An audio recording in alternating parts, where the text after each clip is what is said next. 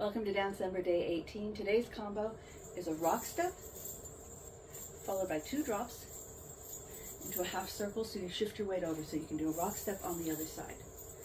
Drop and drop and half circle. Rock, two, three, four. Drop, kick, drop, kick, half circle. Rock, two, three, four. Drop, kick, drop, kick, half circle. You can also add that into uh, yesterday. So rock, two, three, four. Drop, kick, drop, kick, half circle. Rock, or grapevine, horseshoe. Um, yeah, so have fun. We'll see what combo I come up with tomorrow.